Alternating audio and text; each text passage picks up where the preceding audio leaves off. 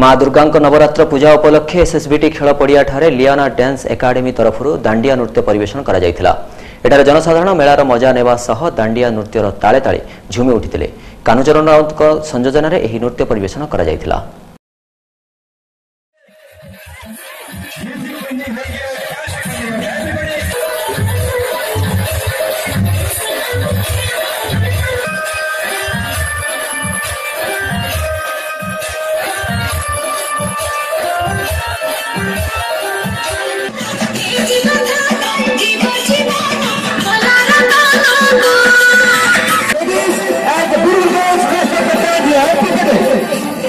Let's